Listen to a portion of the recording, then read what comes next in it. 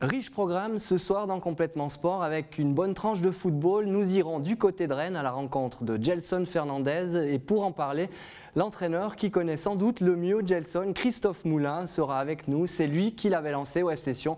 On se fera aussi notre petite interview selfie avec cette fois le cycliste Steve Morabito qui se prête au jeu très décalé des questions-réponses avec Kathleen. Enfin, en deuxième partie, on va rester sur le vélo. On va parler cyclocross avec Julien Taramarca. Alors rendez-vous tout à l'heure, 18h30 pour ce numéro, rediffusion toutes les heures.